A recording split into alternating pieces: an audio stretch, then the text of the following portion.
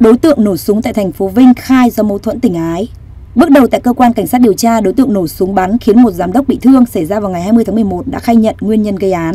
Liên quan đến vụ nổ súng xảy ra tại quán cà phê House, số 1 đường Đinh Công Tráng, phường Quang Trung, thành phố Vinh, Nghệ An vào sáng 20 tháng 11, tại cơ quan điều tra, đối tượng Đậu Đức Thuận, sinh năm 1984, chú phường Hưng Bình, thành phố Vinh đã khai nhận động cơ gây án. Theo lời khai của đối tượng Thuận, sáng 20 tháng 11, đối tượng vào quán cà phê House nhìn thấy anh Tiến và bắn một phát. Nguyên nhân gây án là do mâu thuẫn chuyện tình ái và việc công ty.